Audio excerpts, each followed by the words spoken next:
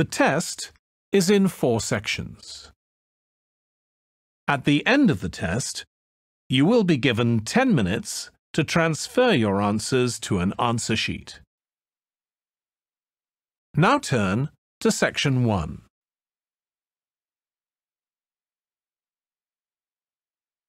Section 1. First, you have some time to look at questions 1 to 5.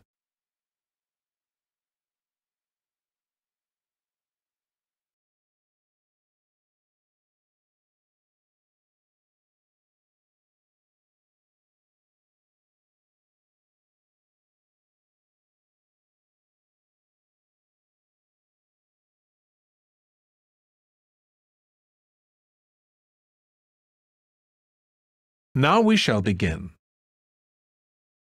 You should answer the questions as you listen because you will not hear the recording a second time. Listen carefully and answer questions 1 to 5. Good morning. I'm here to get a student bus pass, please. Of course, madam. Do you want to buy a month bus pass, a six month bus pass, or a year pass? Oh, just a month pass, please. Right then. I'll just have to take a few details. Yes, of course. First of all, what's your name? Natalie Jameson. And how do you spell Jameson? J A M E S O N. Thank you. And what's your address? 45 Forest Avenue, Newlands, Adelaide. Is that Forest with one R or two R's? Just one. And what's the postcode, please? Oh, yes. It's 8490. Thanks. Now, what's your date of birth, if you don't mind me asking? Not at all. It's the 13th of May 1982. I also need to know your telephone number here in Adelaide. OK. I just need to check that as I only moved here last week. Now, where is it? Here we are. It's 6249 7152. Do you need a code or anything? Oh no, that's okay, thank you. Can I see your university card, please? Yes, here it is. Good, that's fine.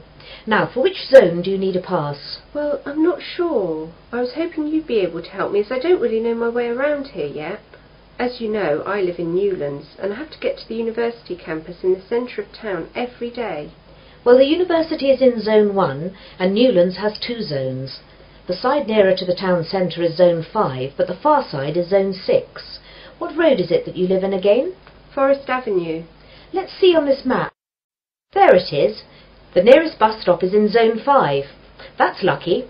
Zones 1 to 6 are $15 more expensive. Great. Make the pass out for zones 1 to 5 then, please. Before you hear the rest of the conversation, you have some time to look at questions 6 to 10.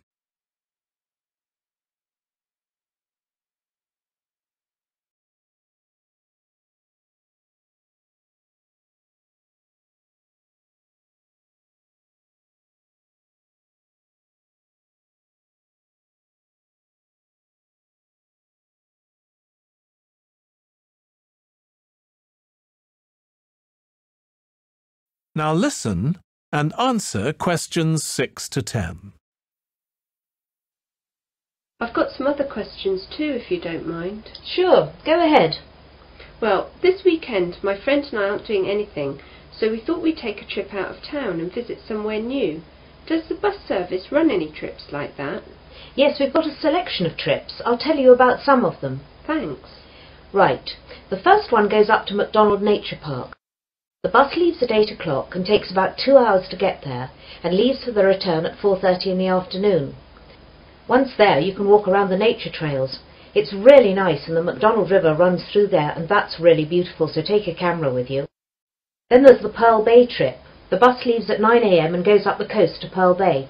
How far is that? It's an hour away. Once there you can walk along the cliffs up to Rocky Point which has a famous view up the coast. Or you can just lie on the beach and swim. Don't forget to take your swimming gear and a towel. The water's pretty safe there and there are always lifeguards. The bus arrives back in Adelaide at 5pm. Hmm, that sounds nice. What else? Well, there's the Huron Gold Mine. It's just a half-day trip, leaving here at 9.30am and arriving back at 2pm. It only takes half an hour to get there, which is good. It's an old worked out mine that has changed into a sort of museum. They have all the old equipment and a guide takes you round some of the tunnels and shows you some of the techniques they used to use. You might even find some gold they missed. Yeah, I could do with that. It's pretty interesting, but the mines can be quite cold, so take a sweater. So how do those three sound? Quite interesting. I really like the idea of going up the coast and spending a day on the beach, but my friend Karen will like the idea of the nature park. I better wait and check out with her what she wants to do before booking. No problem at all. You just need to pop in sometime during the week and we'll make the booking. Thanks very much. You've been very helpful. No problem. See you later. That is the end of section one. You now have half a minute to check your answers.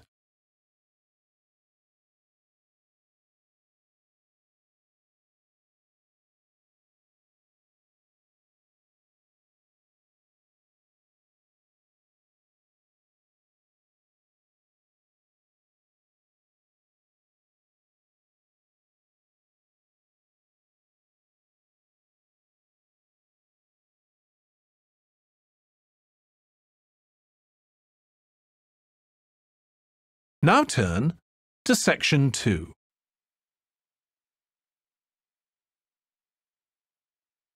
Section 2. First, you have some time to look at questions 11 to 14.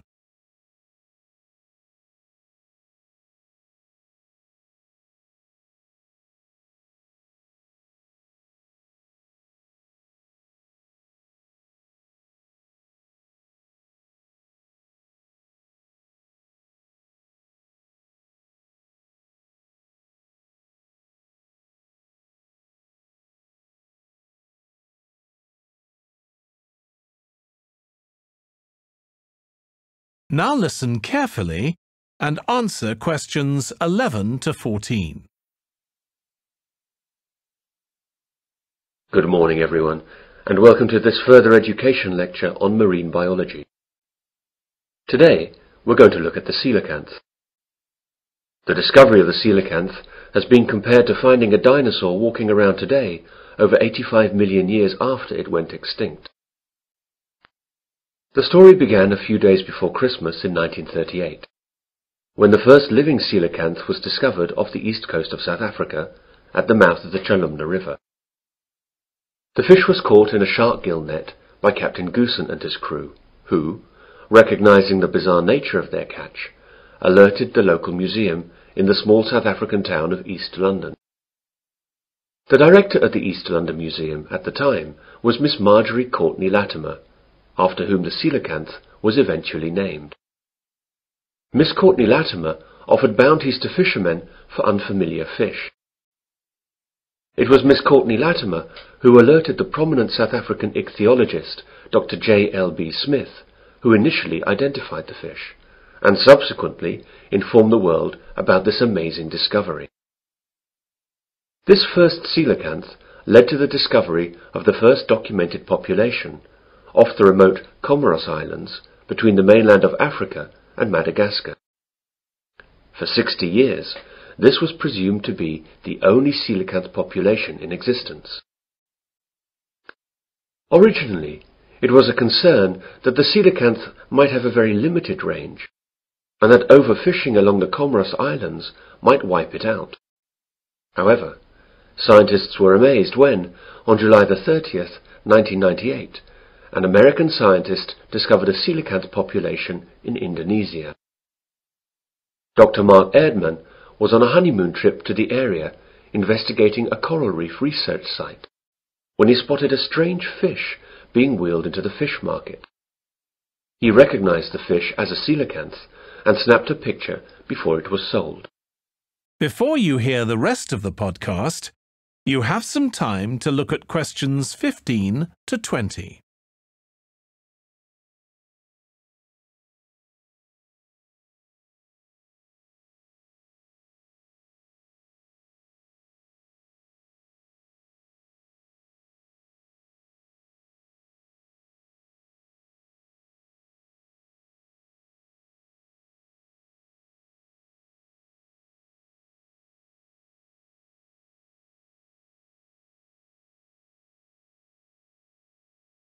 Now listen and answer questions 15 to 20.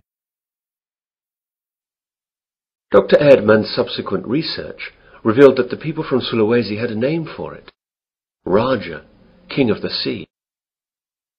The Sulawesi coelacanth colony is about 10,000 kilometers east of where the coelacanths were previously known to occur in the western Indian Ocean. Both Sulawesi and Comoros coelacanths are quite different from all other living fish. But perhaps the most interesting feature of the coelacanth is that it has paired lobed fins, which move in a similar fashion to our arms and legs. Coelacanths also have an extra lobe on their tail and a vertebral column that is not fully developed. They are the only living animal to have a fully functional intercranial joint, a division that separates the ear and brain from the nasal organs and eye, and allows the front part of the head to be lifted when the fish is feeding. The brown Sulawesi coelacanth and the steel blue Comoros coelacanth share these unusual characteristics. The discovery of the coelacanth in 1938 is still considered to be the zoological find of the century. This living fossil comes from a lineage of fish that was thought to have been extinct since the time of the dinosaurs. Coelacanths are known from the fossil record dating back over 360 million years and peaked in abundance about 240 million years ago. Before 1938, they were believed to have become extinct approximately 80 million years ago, after mysteriously disappearing from the fossil record. How could the coelacanth disappear for over 80 million years and then turn up alive and well in the 20th century? The answer seems to be that fossil coelacanths appeared to live in environments with clay sedimentation with plenty of volcanic activity. Modern coelacanths, both in the Comoros and Sulawesi, inhabit caves and overhangs in vertical marine reefs at about 200 meters, environments not conducive to fossil creation. In 1991, scientists got a better understanding of the fish when the Comoros got their independence from France and French restrictions on research were lifted. This allowed scientists to study the fish off the Comoros Islands. As the animal hides in underwater caves some 300 to 700 feet down during the day and comes out at night to feed, diving is not an option. And previously only fishermen specimens had been available for study. But this time the scientists had their own submarine, so they could study the coelacanth in its natural habitat through portholes. That is the end of section two. You now have half a minute to check your answers.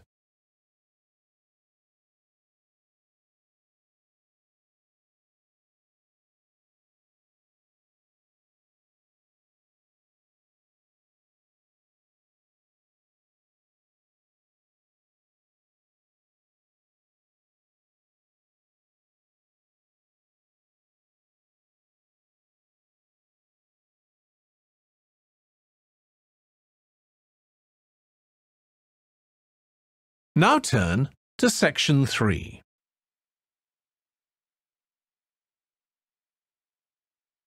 Section 3. First, you have some time to look at questions 21 to 25.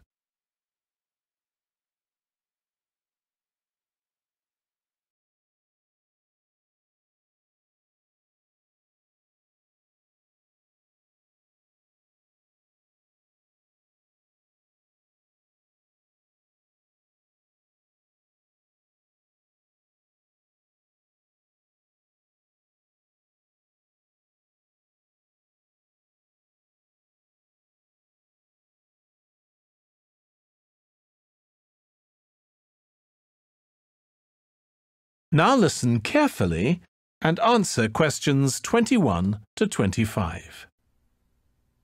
An understanding of customer psychology is an invaluable aid for retailers looking for ways to increase sales.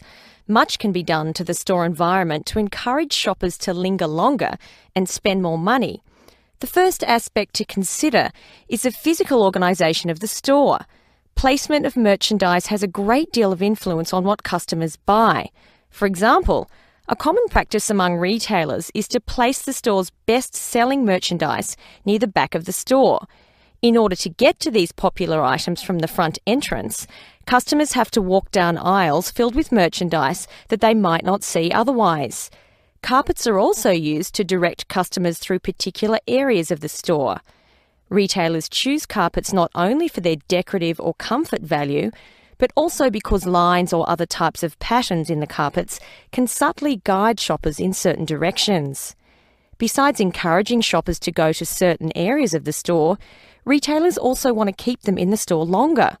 One way to do this is to provide comfortable seating throughout the store, but not too close to the doors. This gives customers a chance to rest and then continue shopping. Retailers can do a number of things to create a pleasant atmosphere in the store, thereby encouraging more purchases. Music is commonly used not as entertainment, but as a calming influence. It can slow the customer's pace through the store, making them spend more time shopping and consequentially making more purchases. Scents are also used in various ways. Everyone has had the experience of being drawn into a bakery by the smell of fresh bread. Experiments have been done with other types of scents as well. For example, the scent of vanilla has been used to increase sales in clothing stores. Before you hear the rest of the discussion, you have some time to look at questions 26 to 30.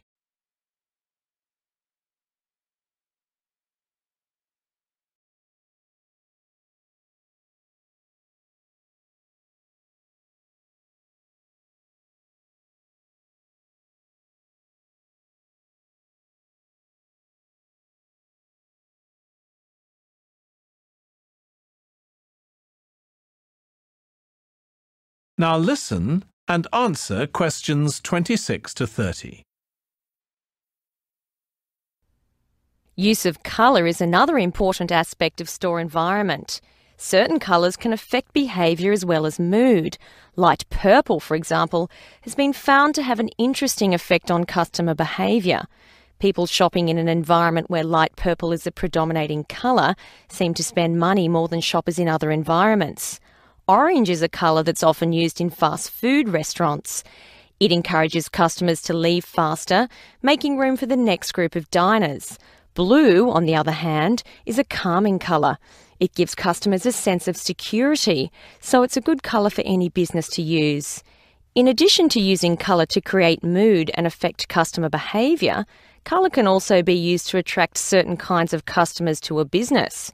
Stores that cater to a younger clientele should use bold, bright colours, which tend to be attractive to younger people. Stores that are interested in attracting an older clientele will have more success with soft, subtle colours, as older people find these colours more appealing. That is the end of section 3. You now have half a minute to check your answers.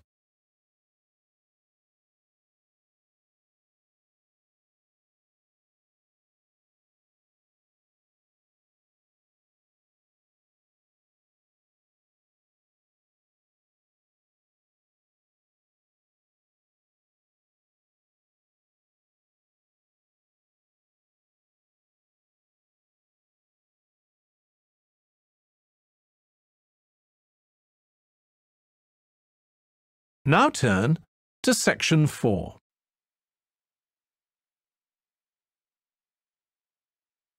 Section 4.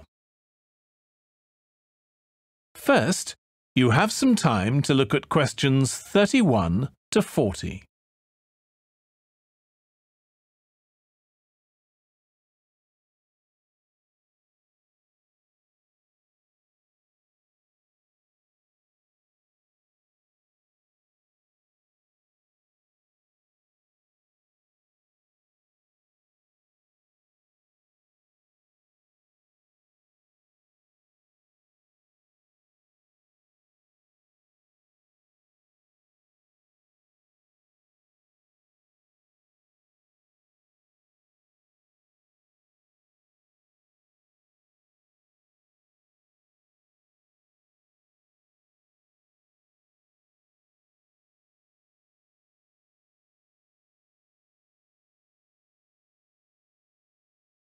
Now listen carefully and answer questions 31 to 40.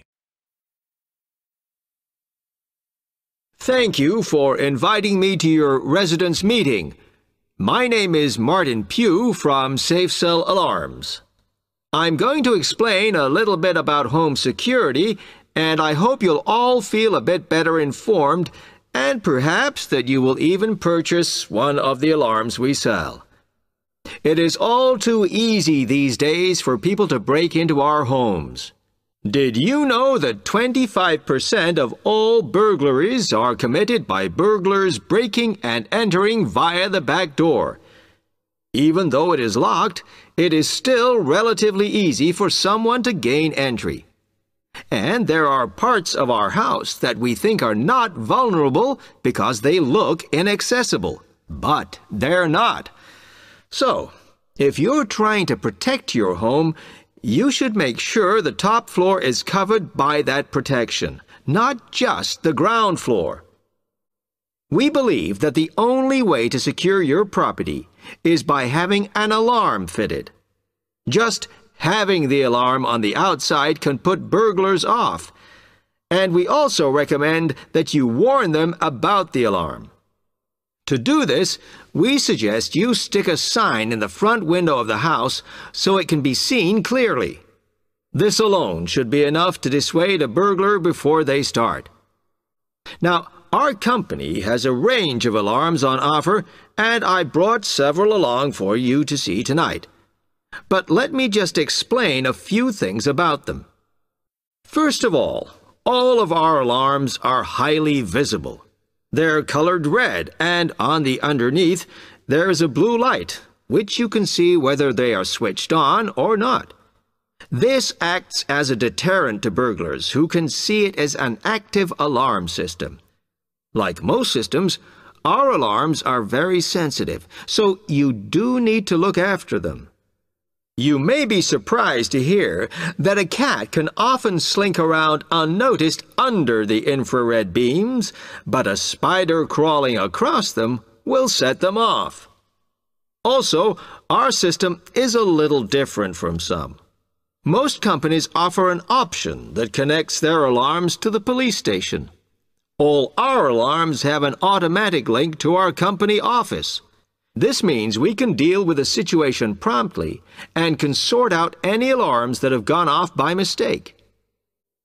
Okay, let me tell you about the installation of our alarms.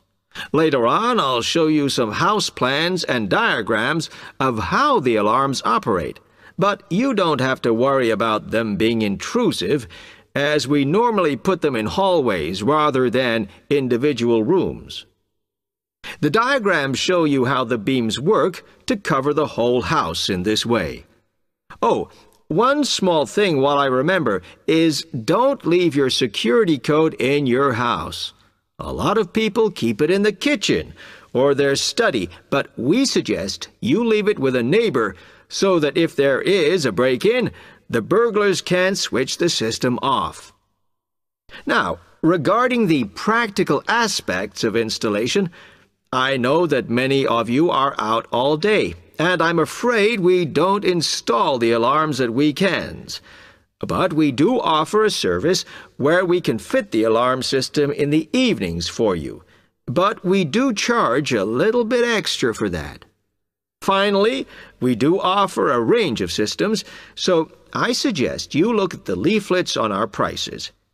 And please don't be put off from investing in a more sophisticated system to protect your home, as we do allow you to set up a monthly payment if it's too much in one go. Okay, now if you'd like to come forward. That is the end of section 4. You now have half a minute to check your answers.